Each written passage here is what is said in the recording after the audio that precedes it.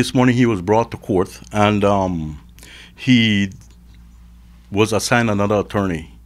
He then fired the attorney with saying that he wasn't comfortable with that attorney.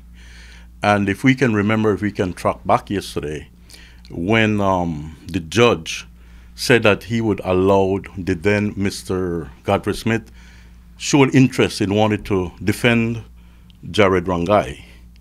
The judge, they asked for three months the judge said, No, I'll give one month for you to prepare for your case. Something happened today. We really don't know what happened. But we were called to come to court today. We went back today, and um, not to mention, we was given 30 minutes to get there. Mm -hmm. We entered the courtroom, and um, the judge then stated to, to the court that he will recuse himself from the, from the case.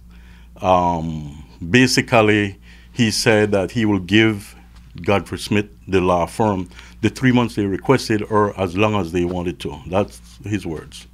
And um, for that reason, he will rec recuse himself from the case. Other than that, basically, we really don't know why, why he, he did recuse himself. Is it that this just came out of left field? Yes, actually, we were, the family was very um, optimistic about the case to be called in a month. If you can remember mm-hmm. yesterday, he said uh, a month, which was supposed to be May 2nd. Uh, so we were very optimistic, and um, yes, it came out of left field because we were. This was the last news we would have expected to hear. And is it distressing concerning? Like it's been over what ten years now. It, it this happened um, uh, November twenty fifth, twenty twelve. Mm. So it's a little over 10 years ago. And um, I, want I want to say, say this that um, some, I think a year or two ago, he was granted bail. Mm. And it was all over the radio and TV station that why would they hold a prisoner this long? And they come with all kind of theory and everything. But uh, just for the defense of the, the justice system, about three years after the murders, uh, the case was supposed to start. And uh, I want to make this clear that he fired his first attorney then, um, at that time. Since then, I don't want to get into everything, but since then, seven years later, he had fired six attorneys. Mm-hmm.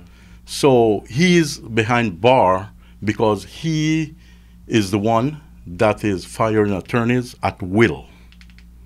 Now we're at where Godfrey Smith law firm will defend him. The message I want to get across is what message will we give the kids watching today if you think it's okay to kill your entire family and you will have a great attorney and walk? That's where we have a big concern. So, like I said, we're not worried, we're very much concerned.